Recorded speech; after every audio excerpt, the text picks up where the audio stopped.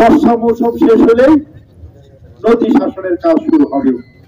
এই কথা শুনতে শুনতে আমরা আজ পর্যন্ত আমাদের বসত ভিটা বাপ দাদার মাটি, আমাদের পায়ের নিচের মাটি আমরা রক্ষা করতে পারছি আমাদের নদীর পাড়ের মানুষ তাদের কাজে বিশ্বাসী, কথায় বিশ্বাসী না। পদ্মাপাড়ের মানুষের পক্ষ থেকে দলদিয়াবাসীর পক্ষ থেকে আমি জননেত্রী মাননীয় প্রধানমন্ত্রী তার কাছে বিনীতভাবে অনুরোধ করব। কারণ সে হচ্ছে বাংলাদেশের রূপকার, বাংলাদেশের উন্নয়নের রূপকার। যার কাছে কথা বললে বাস্তবায়ন হবে, তাকেই আমি অনুরোধ করব। মাননীয় প্রধানমন্ত্রী, আপনি দৌলতী এবং দেবগ্রামের সেভেন্টি অথবা নাইনটি ফাইভ পার্সেন্ট লোক আওয়ামী লীগে ভোট দেন। আজকে প্রিন্স মিডিয়ার ভাইয়েরা আছেন। আপনারা দয়া করে এই জিনিসটা প্রচার করবেন। উনিশশো একাত্তরের পর থেকেই এই দেবগ্রাম দলদিয়ার মানুষ নদীতে ভেঙতে ভেঙতে আমরা সর্বহারা হয়ে গেছি। আমার দলদিয়ার এক নম্বর ওয়ার্ডে দশ বারো হাজার লোকের বসবাস আছে।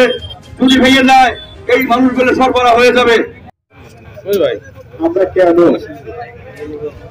এই নদীর পারে নদী ভাঙা মানুষ? দৌলতদিয়া দেবগ্রাম মাঝখানে মাঝখানে মাঝখানে মাঝখানে। উনিশশো ছিয়ানব্বই সাল থেকে আজ পর্যন্ত প্রতি বছরই এই বর্ষার পদ্মার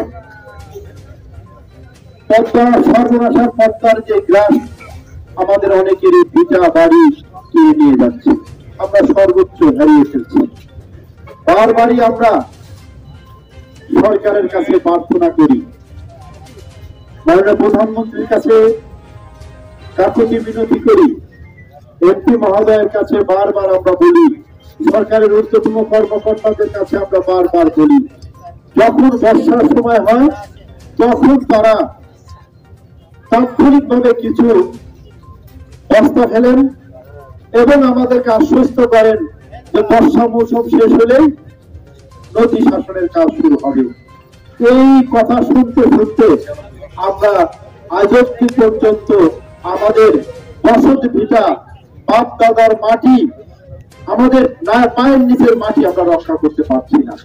যে কারণে আজকে দৌলতদিয়ার সাধারণ মানুষ, শ্রমজীবী মানুষ, রাজনৈতিক ব্যক্তিত্ব, আপামর জনগণ, সকলে আজকে মানববন্ধনে এসে হাজির হয়েছে। যাপন করছে। এর মধ্যে যদি এই সর্বনাশা সত্তা যদি আমাদের ফসল কেড়ে নিয়ে যায়, তাহলে কার কাছে যাব? কোথায় দাঁড়াবো? কার কাছে বলব? আমাদের আশ্রয় স্থল একটি মাত্র জায়গা, মাননীয় প্রধানমন্ত্রী। আপনি আমাদের এই দৌলতদিয়াবাসীকে রক্ষা করুন। আপনি গরন্দবাসীকে রক্ষা করুন। দেবগ্রাম দৌলতদিয়া এই চারটি নদী গর্ভে বিলীন হয়ে যাচ্ছে। সম্মানিত সভাপতি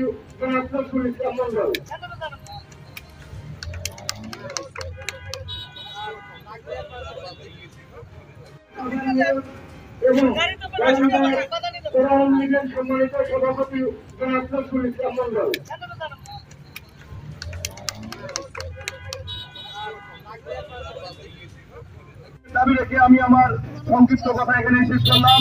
জয় বাংলা, জয় বঙ্গবন্ধু, জয় হোক হকার হকার থেকে আরম্ভ করে সর্বসাধারণ যারা এই ঘাটে কর্মরত ছিল প্রত্যেকেই আজ কর্মবিহীন হয়ে গেছে। আমি সরকারের মাননীয় প্রধানমন্ত্রী আবারও দাবি রেখে